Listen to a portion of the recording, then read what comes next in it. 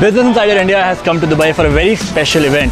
This is the TVS X. We are checking it out right now. This next gen electric scooter by TVS is designed aggressively. It sits on an aluminium frame and comes with a single sided swing arm with a maximum power of 11 kilowatt hour. It promises to be fast and it can deliver a torque output of 40 newton meters. This power is utilized by three riding modes Stealth, Stride, and Xonic with different power output.